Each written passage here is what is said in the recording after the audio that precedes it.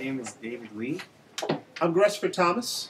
And I'm Cameron Haley, and we're going to be talking about some 19th century uh, works of art with you today, around the turn of the 19th century, actually.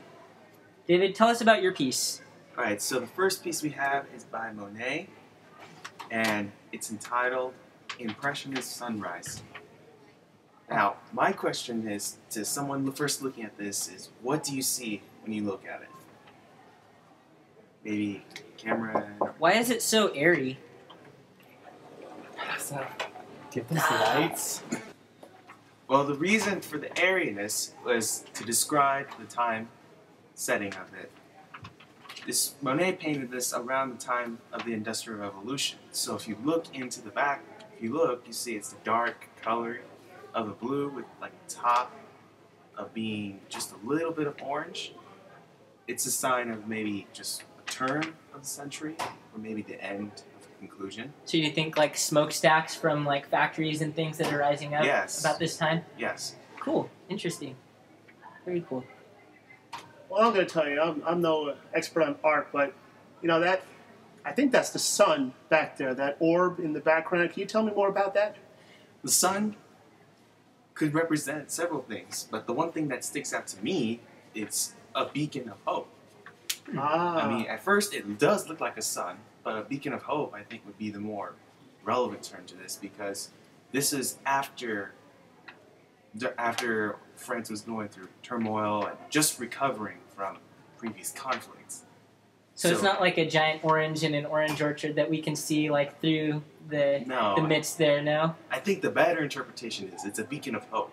If you notice the person, the boat, the man in the boat down there, it's kind of hard to see, but it could be that he's looking up to the sun, which means he is a faithful person, maybe. Interesting. and, and I can kind of see what you're talking about with the hope because the boat is kind of it's, it's dark. It kind of gives a, an air of being uh, in, in the darkness in the background, and, and there you have uh, way off the, the the sun, the orb, so bright, a beacon of hope, just um, there, letting them know that there's something that they can be looking forward to. Mm-hmm. Oh, that's excellent. Yes. Hope that air pollution will not prevail. Yes. Anyway, Gresford, why don't you tell us a little bit about your piece? Well, um, what we're looking at is a bar at the Folies Bergère. That's my best French impression. Very nice. Your impression of a Frenchman. Yeah, my impression of a Frenchman, exactly. It's a it's a great triumph in impressionism because um, it was painted by um, Edu- Edouard Mon- Manet, not Monet, Manet. And um, what we find that it was what we find is that it was completed in 1882 during the last two years of his life. He was suffering from uh, syphilis. Manet was a player.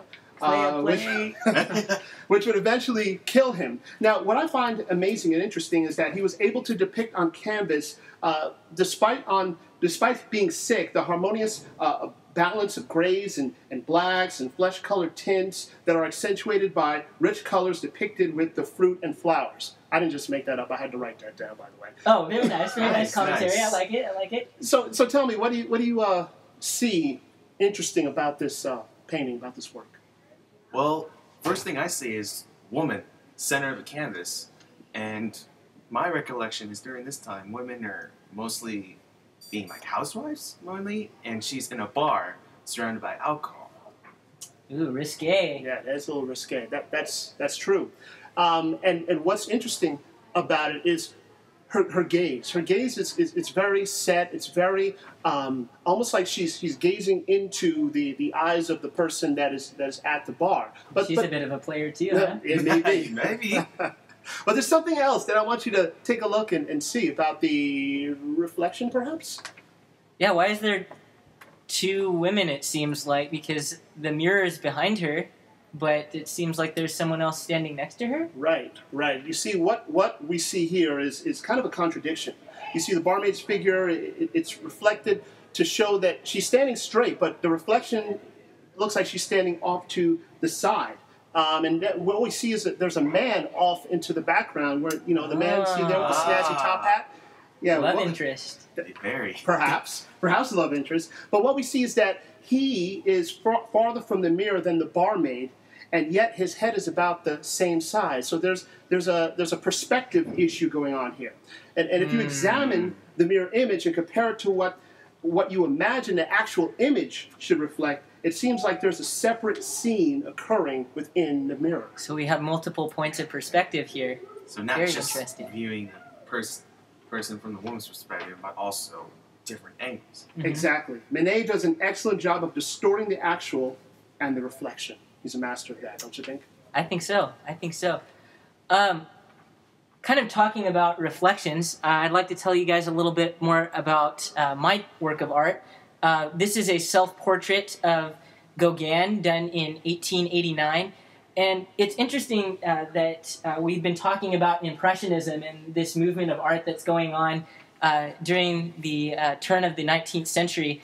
And Mo- Manet actually um, describes this as a time where people could paint anything, uh, anything they want to. I can see that. Um, Yes, very. and my question, I guess, is when you're free to paint anything, you're not tied down to church themes anymore, you're not tied down to old Greek mythology. Why would you choose to paint a picture of yourself? And of course, this does have some themes uh, and imagery that do go back to biblical themes and maybe even some Greek mythology. Um, but why would he put himself in such imagery? Is he trying just to get his face out there to be popular?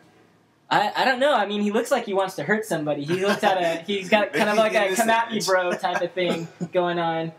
Um, yeah, it's an interesting stare, interesting gaze that he has there, and that and that whole halo action going on there. You know, that is an interesting question. Why would you want to paint yourself, and not just paint yourself, but paint yourself in such a an abstract manner, if you will? Definitely, and there's some contradictory symbols going on there too. You have the halo going on, and uh, if you look very closely, this uh, flower-like looking thing has kind of a snake head uh, on on the end of it, and so um, these are very classic symbols for uh, for good and evil. I see. And Mm. this really captures um, the struggle that Gauguin had um, through his art with his Mhm. identity. Mm. Gauguin um, was someone who struggled throughout his life um, with the person that uh, he saw himself as. hmm And this is because he had roots in um, a very, um, very Native American type of culture, as well as um, a bourgeoisie French culture. His father was from the French culture, and his mother uh, was born in Lima, Peru, and so he had maybe even some connections um, to the Incan Indians that were there, and so he struggled with this concept of uh, civilized society versus the savage, and we can see that I think very deeply reflected in his art.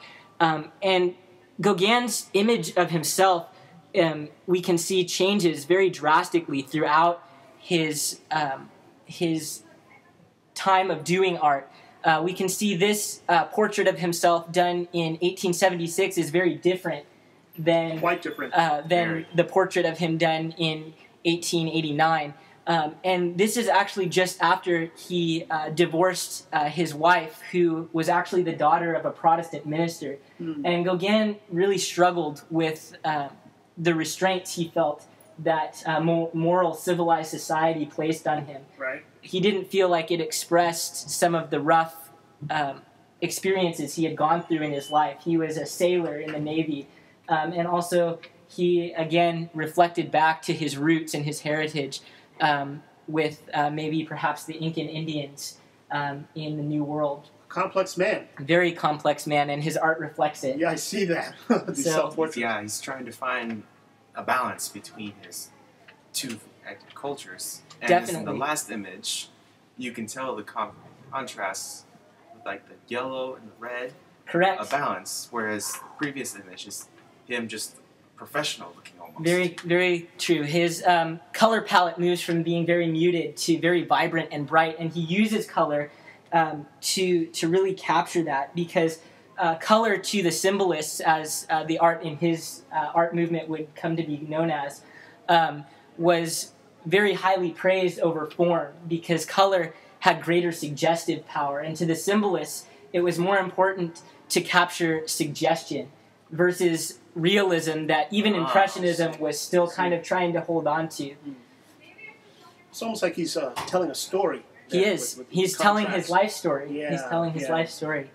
So we can see, I think, as we compare uh, all of our pieces, that um, we can see there's there's kind of a tension between the real and the symbolic going on at the turn of the 19th Mm, century. Yes. because it's evolving from something just abstract, like a scenery almost, to some to a picture of a person, Mhm. which is something that we can associate with. Very true, very true. Um, and bring our own subjective meanings even to it rather than just something that's very objective like a scenery. But I, I would agree. I would Yeah, agree. totally. Absolutely. definitely. Well, it's been a pleasure talking with you guys. Uh, loved your pieces. Um, and I hope that we can do this again sometime. Pleasure's been all mine. Yeah. Great.